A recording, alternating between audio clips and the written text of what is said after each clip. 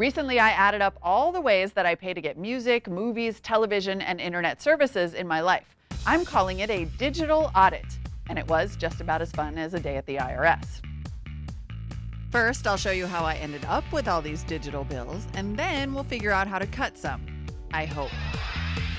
Let's start with a big guy cable and internet. I pay about $180 a month for TV and internet access and phone, and then I recently added HBO for another $10 a month.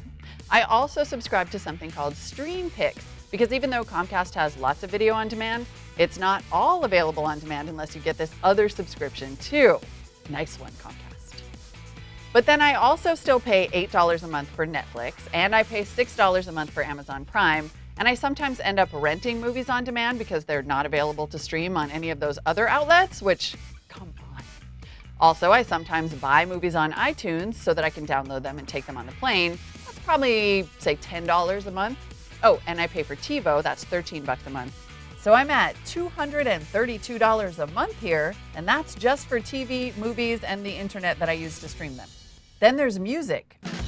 I also pay for Spotify and I pay for satellite radio, and I occasionally even buy music when I can't find it streaming somewhere. And then there's cloud storage, which I pay for two times over. I pay for Dropbox and I pay for iCloud storage so that I can back up my iDevices. So now I'm at $265 a month, which is over $3,000 a year. There are some things I can do to make this bill smaller. Video on demand has gotten pretty good. I could probably dump Netflix. And I could use Amazon Prime for music and get rid of satellite radio. Also, I'm switching from Dropbox to Google Drive immediately. That'll take me from $10 a month to $2 a month for the same storage. In fact, if you just want photo storage, use Flickr instead. You get a terabyte for free. But I gotta say, I'm starting to look at this one big bill right here. I mean, do I really need cable?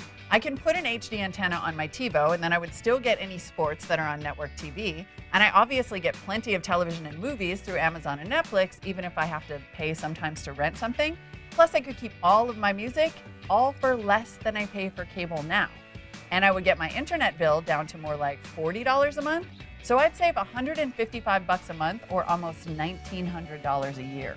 I'm not quite ready to cut the cord because I still want the sports, but that cable subscription is on life support.